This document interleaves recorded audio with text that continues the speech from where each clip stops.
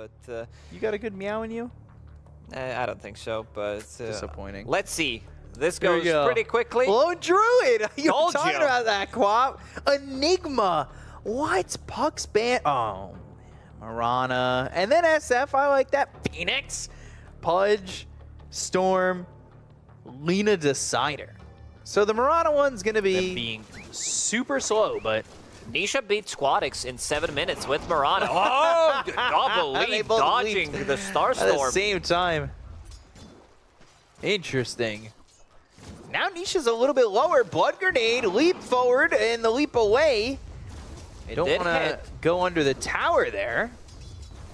That's what we want to see. This aggression. Yeah, I'm in it. Immediately. Your favorite actor, isn't he? No. Don't jump like that. Oh. Oh, leap Oh, forward. What? What? blood grenade. I think that was, Was that- blood grenades that missed.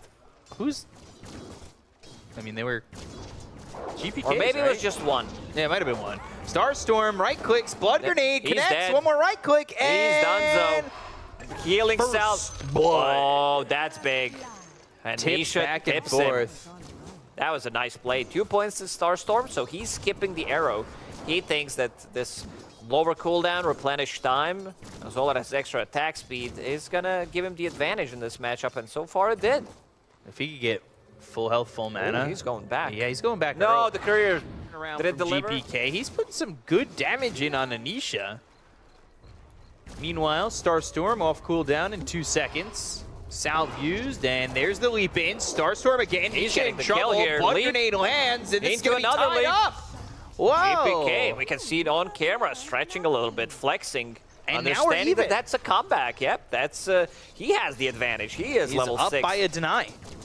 Not just that, he's gonna get some extra CS, and you also killed a higher level hero. Oh, the glyph. Okay, that's a, that's a nice play. These Starstorms are a fallen.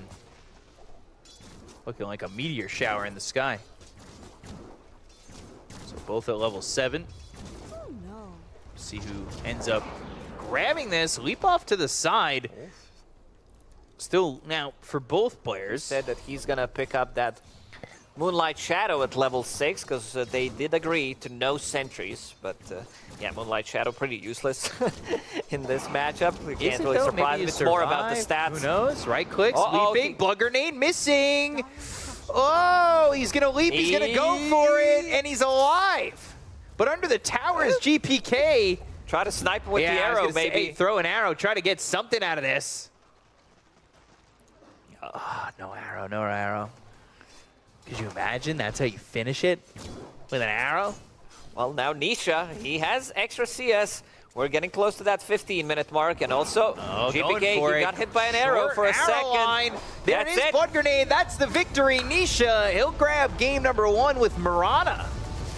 And immediately scales the Oh, build, blood throws grenade. a blood grenade. There it is. You talked about the level three potential. Nisha gives it a high five, knew exactly what's going to happen, but is at low HP. GPK still playing aggressive, investing a lot of resources, some of these mangoes, and now Nisha is level three. This is big. Like, this is your time when you want to play aggressive. If you see enemy being level two, those razes damage that do stack. Uh, you hit them with the two blood grenade. He needs to start to run away. Yeah, you want to throw that blood grenade at the second one because if you're going long, medium, you want to be able to get that slow and have the short and hit, right? it. Yeah, or if he decides to fight, or if he's starting to run away, maybe get another long one. So that's going to be one. Oh, he's keeping an eye. That's two there. But GPK just going to sit under this tower. Maybe Nisha's going to go for it under the tower with creeps here. Hits the raze. They both hit razes. There's a second one. GPK, and now he moves in. Ooh, short range. This could be first blood. Nisha with the blood grenade. Another one. But under Who's the gonna get it? He gets that's going to be a trade. Nisha gets the, the experience in the first blood. Ah, that's a big difference, and because I like how Nisha played this one out. He was waiting for GPK to hit the range creep, and then he started to land his razes. Knew exactly that the you know GPK will go for that range creep instead of trying to battle him out. Right. And he finds an opportunity. So getting that XP, still dying in the end, but we'll have extra items from the kill, and extra XP, of course. So, three and a half minutes here. Nisha looking to take the 2-0. He's up 1 nothing at the moment. This is well four and an advantage heavy for Nisha. There's the blood grenade, and usually with the Shadow Fiends, that's the telltale sign we're going, is the blood grenade. But that one's going to be thrown Oh, over. GP. in trouble. Ooh, He's- high he's in trouble. This is it. This is it. Oh, it's going to be the kill there for GPK. It looked like it was Nisha's game. He catches him in the end, throws a second blood grenade. Like you see that blood grenade flying out. Uh, if you have your razes, he gets on your high ground and lands another Maelstrom. So Ooh, we're getting yeah, into you it. are much squishier. That's why the bar isn't moving as fast as you would like to see it. Yeah, I always wanted to see it just go from Watch the game. that. It's fun to But it was Zerg's. Zerg. Zerg Ugh, Rush. Yeah, yeah, yeah, I love him. Yeah, you know what? You are a Zerg person. I knew it. I knew it. You would never be Protoss like I would. No, no, no. Definitely not. Never liked those. I liked it. I like just building. Same goes for humans in Warcraft 3. It was more about Blade Terran. Master Yeah. uh, or Undead. Coil Nova, game over. yeah, for me, I, I, in StarCraft, I liked just building carriers. PK, he's got a Sal Mango and another blood grenade. Oof, this also doesn't hit. Those That Dragon does, Slaves, though. they need to connect. Like, you need that extra damage and the value. Nisha, right now, in a much better spot. 24 and 9 against 15 6. GPK, LSA, he has that 4 1. Dragon Slave, right clicks. Oh, oh, the trade ends up being accomplished. Hey, that's- that's huge. That's massive because he had 2 0 2 build. Same goes for Nisha, and then he gets level 5, skills LSA, turns around, gets him. Uh. Not really, but yeah, well, maybe at like the 14 minute mark. There's four creeps. Oh, Blood Grenade, Dragon Slave, GPK, LSA, he's that going in. lands Laguna. He knows he needs to go for it, but now you're under the tower taking some damage. There's a south pop by Nisha. Dragon Slave doesn't Oof. connect, so that'll Needs bring him back it. up near full.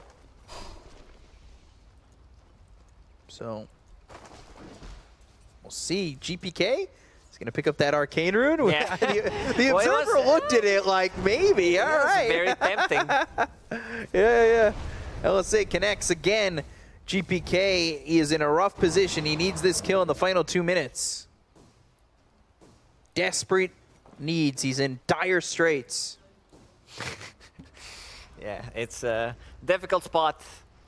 I, I don't think he can win this one unless Nisha makes some like massive mistake. Like you don't even die to a full combo. That's the problem. Like you, GPK doesn't have enough mana to get the combo off anyway. If he runs back, his TP will be on cooldown. But yeah, Nisha can just play it safe. Net worth wise, it's pretty even.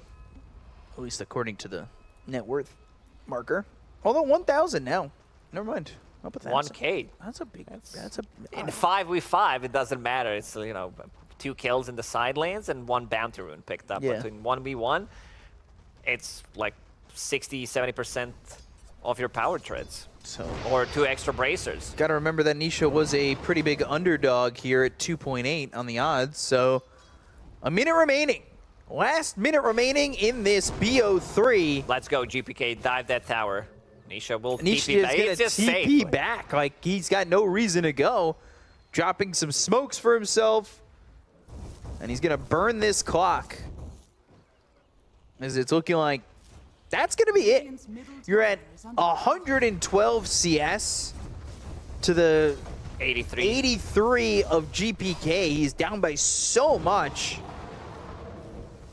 He GPK starting jungle to creep. starting to hit some neutrals. Well, he's trying to get the tower is what he was really trying to do, and he almost got close. yeah, because he wants to keep the stacks going. Yeah, yeah, yeah. But, uh, now no he's mana. to back Yeah, up. th- no this is mana. it. And that is going to be the last 10 seconds.